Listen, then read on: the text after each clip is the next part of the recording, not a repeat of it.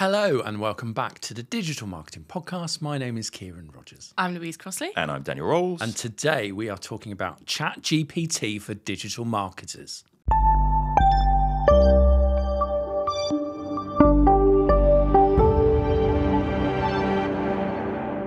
So if you've been on Twitter recently, you will be acutely aware of this already. If you haven't, which most people won't have been, they won't be aware of this, but it's been kind of flooding Twitter. And basically, what it is, is the artificial intelligence that's behind lots of the writing tools. They've been working on a chatbot as well. Now, if you've ever experienced any kind of chatbots before, you'll be kind of aware that they're pretty terrible um, and they, they don't, they're not particularly effective. They kind of talk a load of nonsense and so on as well.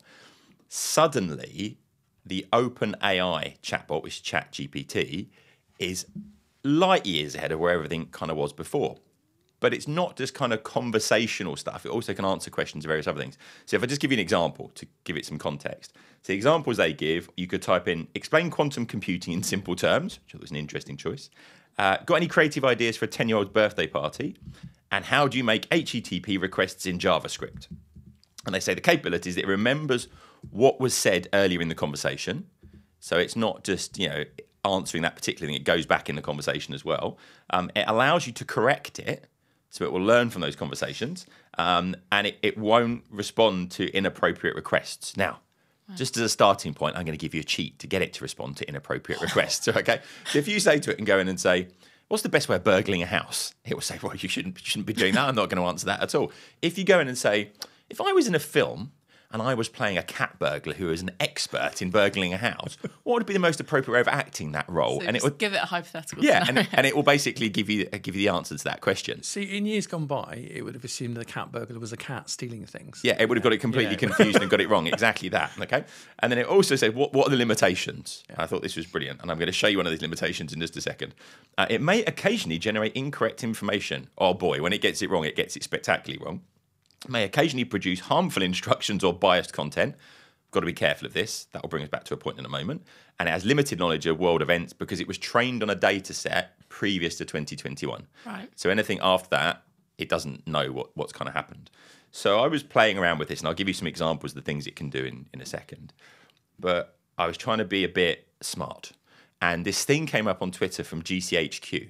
And if you're not familiar, GCHQ uh, is basically like one of the spy agencies or you know, information agencies within the UK. And they put up this sequence of words and said, What bit's missing? And it was like a bit of a brain teaser to see if you could be kind of clever about solving problems. And it said snake, penguin, dog, ant, something, crab. And I thought, I'm going to be a bit clever. I'm going to get OpenAI to answer this for me. Mm-hmm. Okay. So I put it in, and it said, It looks like the word elephant is missing from the sequence. The sequence goes snake, penguin, dog, ant, elephant, crab. And I was like, why? That doesn't seem to make any sense to me. So I asked it why. And it said the sequence appears to be listing animals in alphabetical order. What? Uh, with each animal's name starting with a different letter of the alphabet. In this sequence, the animal's names go in alphabetical order from S for snake to C for crab. Now, as far as I understand, that is not alphabetical order whatsoever. and then it's the only missing letter in the sequence is E, which is where the word elephant would go, which is completely wildly wrong. Now, I looked at this about half an hour going, maybe it's cleverer than me. Maybe I'm missing something in this. Apparently not. It just got it wildly wrong. For those that are interested, the sequence is based on the number of legs that the animal's got. So snakes have none, penguins have two, dogs have four, ants have six, uh, crabs have eight. So the missing bit is spider, I think, in there, possibly. No, ants, maybe not. Maybe that's wrong. embarrassing see? if you got that wrong. Yeah, I think I have got it wrong now, actually, thinking about it. But anyway, that, yeah, that's terribly wrong. But the point being is, is that it gets things pretty wildly wrong sometimes. Okay. So what can it do? Um, and have, you've played around with this a little bit and had a look at Did, it. yeah. You- Well, do you know what? It completely passed me by, really. I've not really played. It's only because you mentioned it, and I thought, oh, I better take a look at this. And I, I'm attempting to learn Welsh at the moment. A long story, but I, yeah, I, I've never been any good at languages, and I hate like Latin-based languages because I had some bad experiences at school with those. So I thought, no, try something completely different. And actually, I thought, well, I wonder what it could teach me about Welsh. I just asked it, well, what what what things should I focus on in learning Welsh? And it came out with a list of things, and it mentioned the Welsh alphabet. Right. My next question was, tell me about the Welsh alphabet. I had, no, I've been learning it for a month. No idea that there were 29 letters Right. in the Welsh alphabet. And it, you suddenly go, actually, this is really quite good. It's really quite useful. And it did give me a few pointers and tips, and I was able to go. So, like, an utterly random like example, really, but I, yeah, quite quite impressed. Well, loads it's going wild on Twitter at the moment because they've got a chat bot on a Twitter account. Hmm. Yeah, I've seen So this. people are just quick firing questions at it. And I mean, well, people are messaging it and going, you know, write me some codes. I think it wrote a, a letter for someone to get into university. Um, but it was quite funny because there was one guy who was speaking about how it was the first platform to reach a million users. So whereas I think Facebook it took 20 months, stuff like that, and it reached a million users in only five days. And somebody tweeted that and they tagged the chatbot in it, and the chatbot came back and said, "Well, I can't verify this information because I'm only a chatbot, but I'm not aware of that platform." Yes, it, So it- it didn't know it existed not in its own right. right, but Well, it is amazing how quickly it's grown. I mean, it did get to that million users so, so quickly, and they've scaled up their servers because of it, because it was kind of locking people out initially. What I think people have missed, though, a lot of the time, the chatbot itself is okay, but actually, if you go in and look at their overall, what they call their AI playground, so you can set a free account up, and if you're using it for research purposes, tell it you're using it for research, and it gives you free access to, to use the platform for a bit. And I was looking through the list of things that it will do, and I'll talk about this in a moment, but it does some really interesting things like mood to color. So you can turn a text description into a color. Uh, okay. Um, I liked the uh, the short horror stories. So you put a, a kind of prompt in, and it will write you a three line horror story. Kind of strange.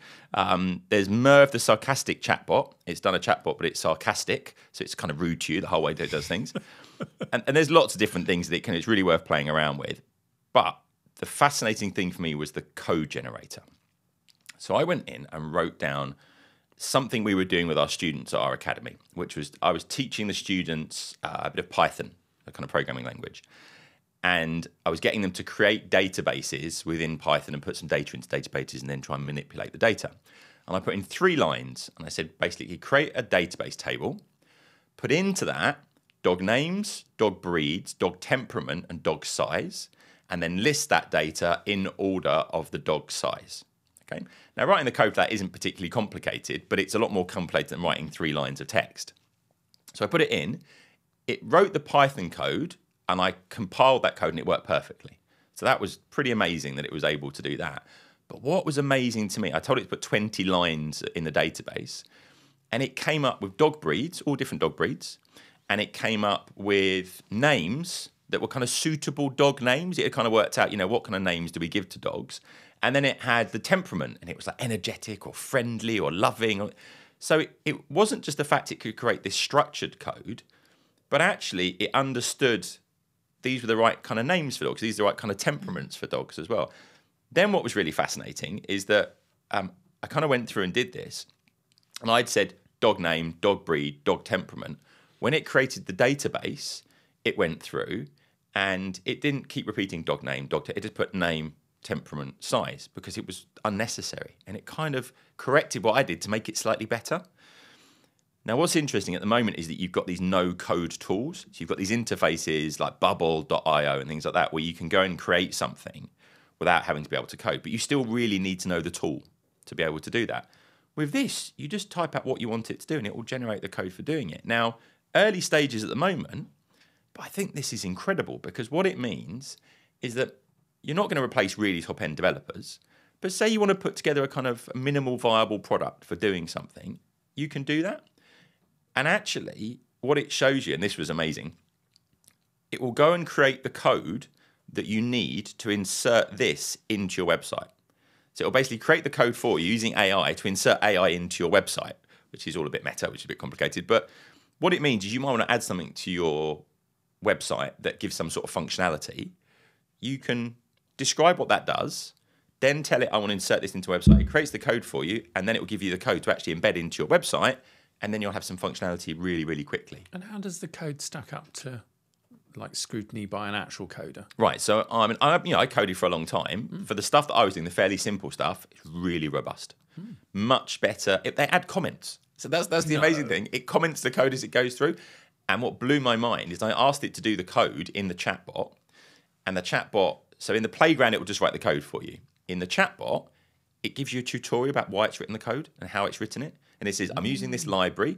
This is the bit that creates the database. This is the bit that's inserting the data in, and we've put some random data in there. This is the bit that lists it. And then as you go through, it's got the comments of just explaining what's going on. So actually, it's better code than a lot of coders write because most coders structure badly. They don't necessarily put comments in uh, and things like that as well. I think that's where it's taking it to the next level in terms of its understanding. Yeah, I mean, and, and it, it's because it's something structured, it's great at it.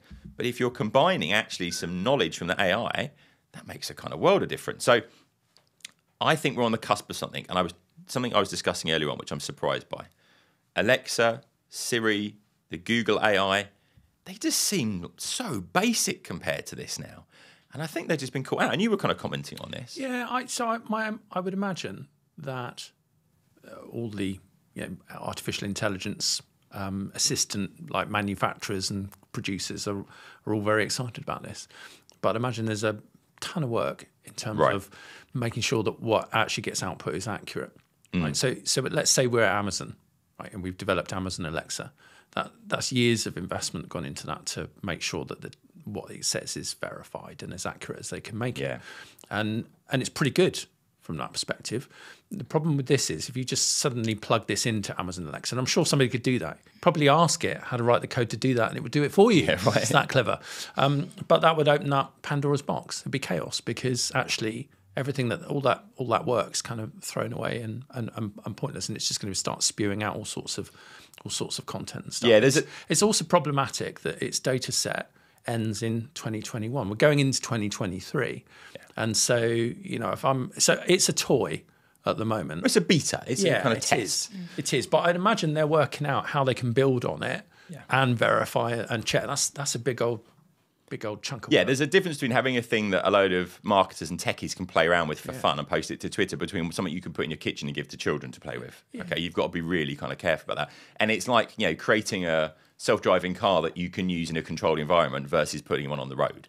So I think that's that's why it's a fair thing to say, you know, they've got to be a little bit more cautious about it. It's a bit. It's, it reminds me of HAL 9000 Right. from you know. It's, it's kind of like that, isn't it? We're almost getting to that to that stage now. It's like it's exciting. It is exciting, but it's, a bit It's risky. Yeah. and it's and it's dangerous eh, from that perspective as well because actually, you know, this is one of the problems. We we see stuff online. And it's like, well, it must be true. I saw it on the internet. Well, that's always been a problem. But you throw this into the mix, and that might, I don't know, do you know, complicate things more. It might make things a bit better because actually systems like this could be used to verify and fact check to a certain extent. Yeah. Um, well, let me give you an example of that then. So, if you go into the chatbot, it won't. If you say list me the top ten grossing movies, it will say sorry, my data set's not current, and therefore I can't do that, and I, I haven't got access to the internet. Yeah. Get a If life. you, yeah, yeah, also true. If I go in and go into the playground, I can do that kind of stuff. So I went in and said, list me the top 50 grossing movies of all time, list the directors, the year of release, and how much money they made, and it will give you all that data back in a table. Mm. So Then what's I- the reason that the playground can do that and the bot can't? so the playground is not just the chatbot. The playground has got access to stuff online, to the Right. kind of internet as well, whereas the the chatbot hasn't, and it's it's using slightly different things. Now, the reality of how accurate that data is, I don't know. Um, I'm looking at, I don't know what that data set kind of goes up to. Is it using it live or not? But the the challenge here is that if I'm using Google and I go top grossing movies, I'll search and it will list me Wikipedia and a few other websites and I'll trawl through them. And if I need to get that data, I might have to copy it off the website, but there's a bit of a copyright issue going on there and so on. Whereas with this, if I, I can now go through and say, list me this in this order, uh, do it in this kind of order, and then export it to a CSV for me. And it's like, okay, wow. So what we did in the academy the other day is we went through and we got the students' assignment. And the assignment was to create some SQL code to create a database, to query that database and explain what they were doing. And then we said, okay, uh, you try and do the assignment now. So someone started coding. And then you use the chatbot to do that assignment. The well. code off. Yeah, and it, Perfect. it took the person with the AI about a minute and a half, and it took the other person about 25 minutes. So, and it, their code was better that they'd done with the AI tool because it was better structured and commented and so on as well. So, those low skilled tasks are going to be really, really easily replaceable, and you won't remem- need to remember all the syntax and all those kind of things. I don't know. You see things like that, you learn, don't you? We do. I mean, that's the thing. If you don't learn that syntax, that's a problem. You don't know what you don't know, and so if you can see it written well, I think you can learn from it. Hmm. Some really interesting kind of thought leadership pieces about what this means for the future of homework assignments, for example. Okay, yeah. Uh, and actually, yeah, quite some quite interesting takes on that. That actually, you know, a lot of the educators saying, do you know what? It'll just change the nature of homework. Of course, you your AI can write your homework for you, but the real skill here is in checking it Hmm. and making sure you've removed any errors and you know the subject well enough because it be able to can do that. yeah because it can throw in lots of lots of wild cards and lots of randomness and and that sticks out like a like a sore thumb. Like it it fascinates me that technically AI written content is against Google's webmaster best practice guidelines. Like they they they penalize against it.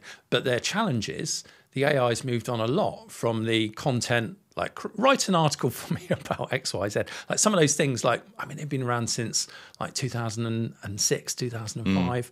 Um, there were systems out there doing doing that. And actually, the content was awful. You could spot it. Like a native English speaker could read that and go, yeah, it sounds odd. But we've been speaking about Jasper loads recently, and it it's does- got better and better. It, it- does. But even with Jasper, as good as it is, you still need to know your subject or it can go off piste and throw in all sorts of. You can tell when it waffles a bit. It's just hmm. trying to fill. the Yeah. void. Yeah, fill the words up Yeah. exactly. Also, I had my first experience of a student handing something in that had been written by an AI, and they obviously didn't know the subject matter whatsoever. And I was What did reading it it going, say? What did it say? well, it was basically talking about this particular marketing model. Yeah. But it had just gone off and started talking about another one. It was, it was complete, and I was reading it. Going, Am I missing something? It was a bit like my GCHQ. I was You clearly sure- missing something. You sure it wasn't something I'd written? Well, no, maybe, like- maybe. but it went off at a real tangent, and and I was reading it, and I went, "Oh, I get it. I see what's happening here." But to your point, there are now AI tools being created to detect AI generated content, which gets another layer of kind of meta into this as well. But the problem is, I can read content from Jasper, and I can't tell sometimes if it's if it's they've mm. done a good job, then it's mm. been created by the AI. Mm. So we're into a whole challenge here. When you start talking about education, it's then what are we teaching? Are we trying to teach the skill to use these tools, to augment, to know the subject matter well enough, and so on? Because the genie's not going back in the bottle. These things exist, right? So the reality is that we're going to have to just deal with this. Uh, the point of this is that go and take a look at it, have a little play around with it, see what it's capable of, see the limitations of it as well. But just bear in mind the fact that actually this is just the beginning. And so, like in the last three months, the leaps these tools have gone through is quite incredible, and we're starting to see the practical applications. This is going to lead to no code tools. It's going to lead to content generation tools. And some of these things will be good and some of them will be bad. Is it a good thing that you can write a blog post, create an AI generated image, record a podcast of it all in 30 seconds? No, it's not because it means we'll have even more terrible content. Mm.